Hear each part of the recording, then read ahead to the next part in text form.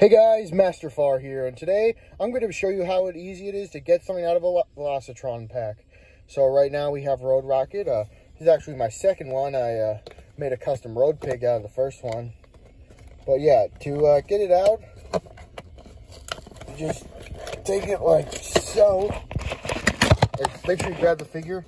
Now there's these little little cardboard pieces right here. You're just wait right here. Now just glad we just rip it open like a Christmas present.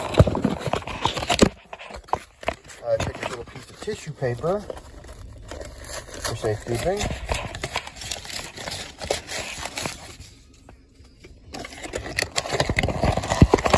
And voila. One big tug and bam, there you go. But yeah, that's pretty much how you can steal a legacy figure. Hasbro, you have to fix this.